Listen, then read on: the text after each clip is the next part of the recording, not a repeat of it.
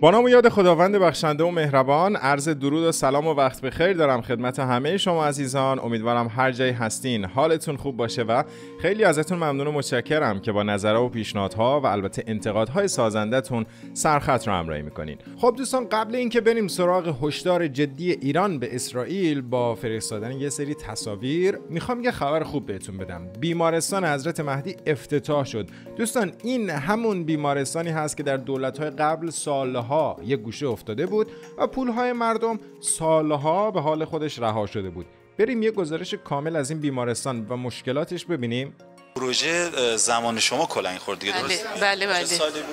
سال 1391 خیلی ممنون. سال 95 گزارش کردم از خاک خوردن این پروژه دو هفته پیش از یه پروژه نیمه تمام بیمارستانی گفتیم که شده بود لانه کبوترها یه ساله ساختن هم دو سال همینجوریه دیگه. هیچ کاری توش نمیشه. نه دیگه.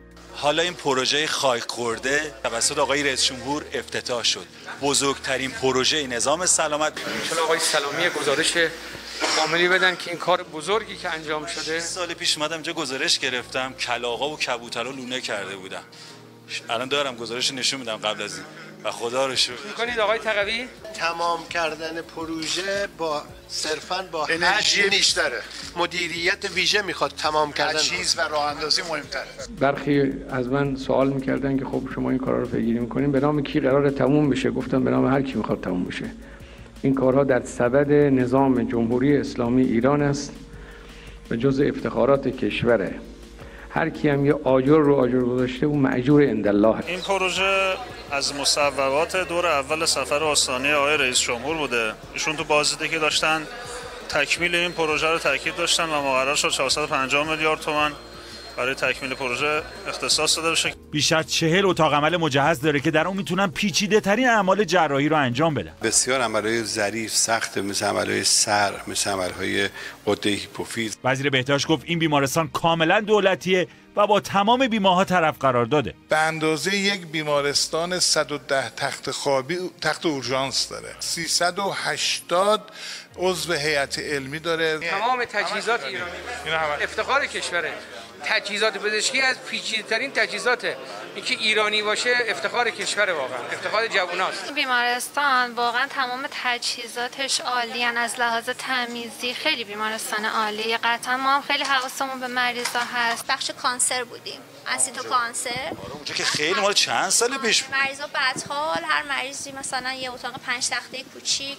خیلی جاشو. خیلی خیلی نه لحاظ روحی که شما یه بیماری داری بیماری تو فکر کنم فراموش می‌کنی یا نمی‌کنی نه خیلی خوب. واقعا خیلی خوبه. آقا این بیمارستان رو امروز آقای رئیس جمهور افتتاح کرد. چطور بود؟ فعلا که فعلا که خوبه. فعلا خوبه. جاشون راحته بعد ترتمیزه. واقعا جای تقدیر و تشکر داره اون کسی که به فکر ملته. راستی این بیمارستان به قدری نو و مجهز بود که برخی از مسئولین هوس کرده بودن بستری بشن. آدم حوضش می‌کنه مریض میشه. بیاد با دشت کنیم. در بعد ورود این بیمارستان تصویری بود از شهدای سلامت و آقای رئیس جمهور به آنها ادای احترام کرد. خب من همکنون روی سقف این بیمارستان هستم و یکی از ویژگی های این بیمارستان اینه که روی سقف اون راحت می‌تونه بالگرد امداد بنشینه و مصوم و بیمار خودش رو انتقال بده. بله دوستان دیگه به نظرم نیازی به توضیحات بنده نیست. حالا بریم سراغ موضوع تهدید اسرائیل توسط ایران. بامداد امروز الجزیره به نقل از مقامات ایرانی یک گزارشی رو منتشر کرده. كشف مصدر مطلع للجزيرة أن إيران أرسلت لإسرائيل عبر دولة أوروبية ملفا يتضمن صورا وخرائط خاصة بجميع مخازن الأسلحة النووية به نقل از الجزیره و طبق این گزارش ایران از طریق یک شناور اروپایی پرونده حاوی نقشه و تصاویر انبارهای سلاح هسته‌ای و بیولوژیک و شیمیایی رژیم صهیونیستی رو واسهشون فرستاده که بیشتر تصاویر هم از روی زمین گرفته شدن. دوستان یعنی توسط افراد نه ماهواره ها و تهدید کرده که در صورت حمله هدف قرار می‌گیرند حالا این در حالیه که بنا به گفته رسانه های صهیونیستی نتانیاهو در حالی که داره به شدت دست و پا می‌زنه برگشته گفته که اسرائیل لحظه به لحظه برای حمله به تهران آماده می شود به گفته این رسانه بنا به شواهد جدید به دست اومده. اسرائیل امنیتش رو فدای روابط آمریکا می‌کنه و بدون اجازه آمریکا علیه تهران عمل خواهد کرد. در همین خصوص اسرائیل رادار در دو تا توییت پی در پی نوشته که مشاور امنیت ملی اسرائیل در پیامی به ایران. اسرائیل به تنهایی می‌تواند از خود دفاع کند و آمریکایی ها هم آن را درک می‌کنند. اسرائیل هرگز سلاحهای هسته‌ای ایران را نمیپذیرد. همچنین در توییت دوم هم نوشته شده که نکاتی که باید در نظر داشت. یک هیچکس تاریخ اسرائیل برای حمله به ایران را نمی‌داند. دو حمله اسرائیل عناصر غیر منتظره خواهد داشت. سه هیچ کس به طور قطع نمی‌داند که ایران چه واکنشی نشان خواهد داد. ما می توانیم تخمین بزنیم اما نمی‌دونیم. خب دوستان همونطور که مشاهده می‌کنین دست و پا زدن ها ادامه داره اونم به طرق مختلف. فکر کنم اینها تازه تونستن دشمن فرضی رو شکست بدن هوا ورشون داشته. بعد تو همین موردم که دارن میگن حمله می‌کنیم حمله می‌کنیم البته تو خواب به خودشون شک دارن. اون وقت چطور اسرائیل که کل مساحتش اندازه یه تهران هم نیست باید سلاح هسته‌ای داشته باشه ایران برای دفاع از خودش نداشته باشه. بارها در این راستا صحبت کردیم دوستان نیازی به توضیحات بیشتر نیست به نظرم. حالا تمام این جوک های خندهدار که حاصل از غرق شدنه در حال ایراد میشه که ادامه اختلاف های داخلی رژیم صهیونیستی نظامی ها رو کشونده در خونه وزیر صهیونیستی. با ادامه اختلاف های داخلی رژیم صهیونیستی این بار نظامیان رو مقابل خانه وزیر صهیونیست کشوند. جمعی از افسران و سربازان ذخیره ارتش رژیم صهیونیستی با تجمع در برابر خانه شلومو کرایی وزیر ارتباطات کابینه نتانیاهو به اظهارات اخیر او اعتراض کردند. کرایی در واکنش به تهدید نیروهای ذخیره ارتش صهیونیست درباره قطع همکاری با ارتش گفته بود گستاخ بروید به جهنم.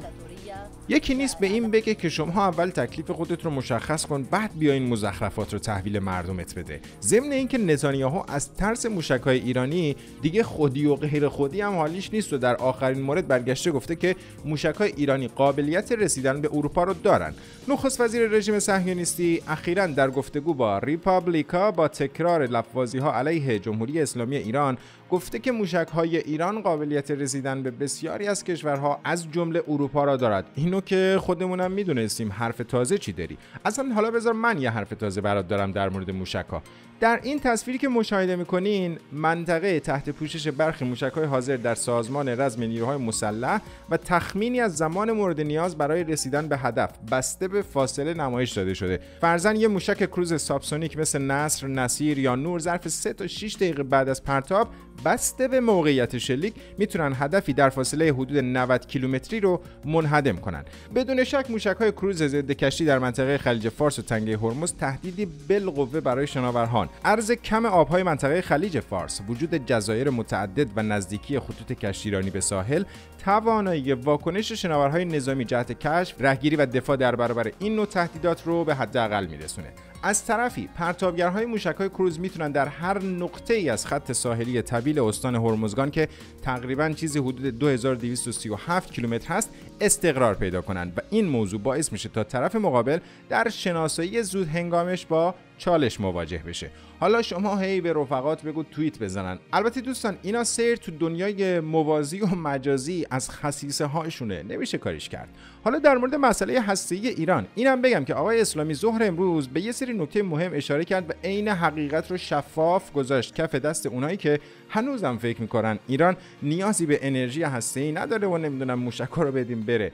غربی ها ایران هسته‌ای رو پذیرفتن. این حرفی بود که رئیس سازمان انرژی هسته‌ای در صحبت‌های امروزش در واکنش به ادعاهای غربی ها داشت و اضافه کرد که از قبل انقلاب تا به امروز به هیچ عنوان دشمنان حاضر نبودند ما چرخه سوخت داشته باشیم ولی امروز این موضوع رو پذیرفتن. امروز غرب و استکبار می‌دونه که گزینه دیگری جز دیپلماسی را در پیش ندارد و ایران را به عنوان یک کشور هسته‌ای قبول کرده. این که دیگه حق مسلم ایرانه. دوستان چطور بقیه داشته باشن؟ اما به ایران که می‌رسه میشه نمی‌دونم تهدید بین جلالی در همین زمینه آقای محسن نظیری اصل سفیر و نماینده دائم ایران در آژانس انرژی اتمی هم میگه که اروپا سناریوی برد باخت رو بذاره کنار و نگرشش رو نسبت به ایران تغییر بده. ناکارآمدی این روی کرده. استبدادی بارها ثابت شده. والا ما هم داریم همینو میگیم اما کو گوش شنوا.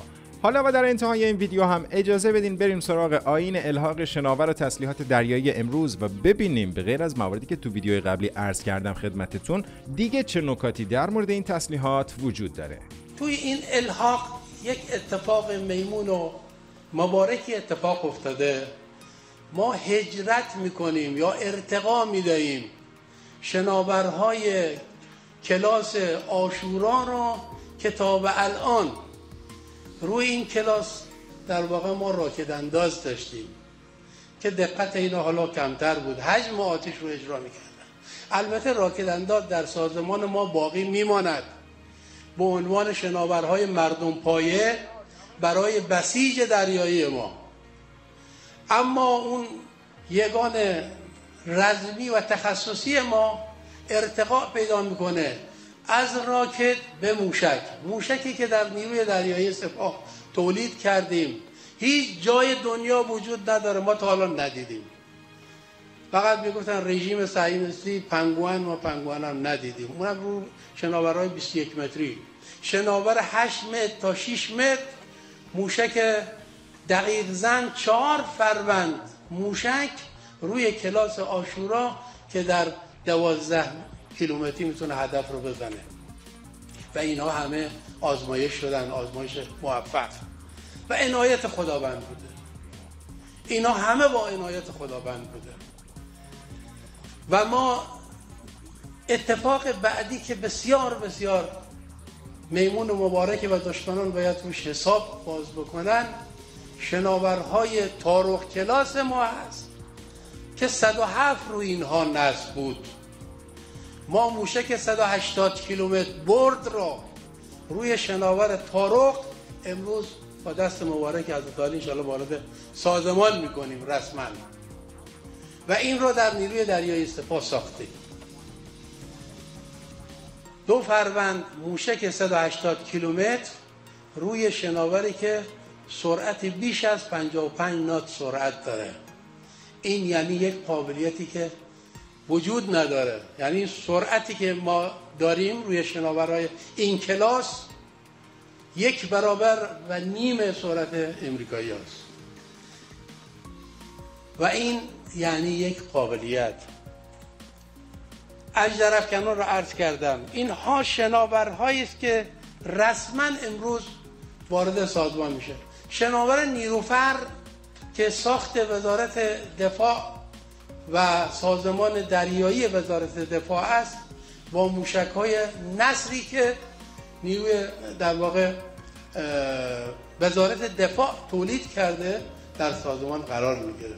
90 کیلومتر تا 120 کیلومتر موشکی که روی نیوفر با یک بدنه منحصر به فرد این خواهیم داشت. یک اتفاق میمون دیگه و مبارک دیگه به عنایت خداوند و دعای خیر امام زمان در نیروی دریایی سپاه در الحاق دهم صورت می‌گیره اون هم پوشش هوایی است.